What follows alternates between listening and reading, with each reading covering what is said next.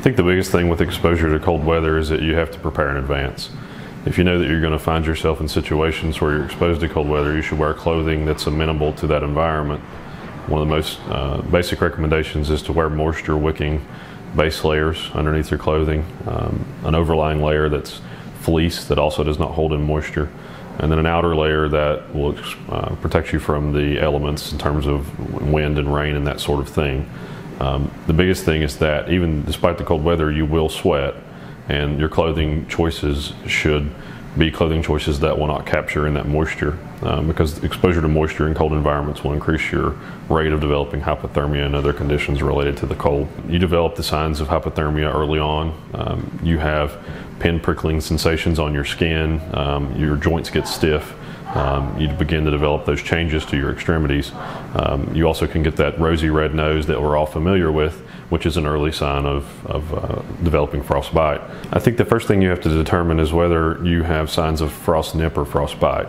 And the difference in, is simple. Um, with frost nip, you typically have sort of red skin changes. Um, you will have pain in that area, whether it's the nose, the ears, um, or the extremities, and or any other exposed area.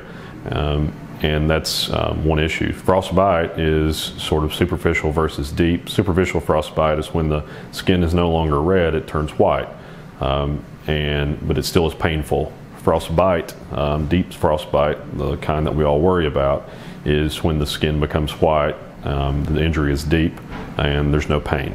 Um, so you've essentially damaged the, the tissue and the underlying nerves. You want to avoid rubbing the skin because you have decreased sensation in the area, so you may be causing tissue damage to already damaged skin by warming the skin.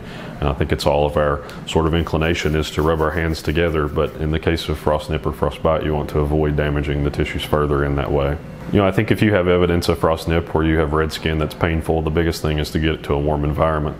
If after you do that, your skin starts to turn white, um, and is either you know painful at that moment or painless. When you start to see those skin changes, like there's lack of blood flow to that area, you certainly should seek uh, medical treatment. And those conditions are any condition that results in a lack of blood flow to the extremities or to the surface of the skin.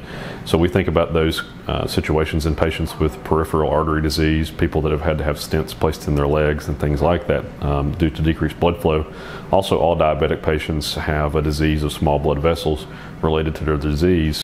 If you or someone you know is outside in the cold environment and come back in and seem confused, um, then those are the earliest signs of hypothermia, and that should uh, be a patient that is seen quicker um, and probably should come to the emergency department.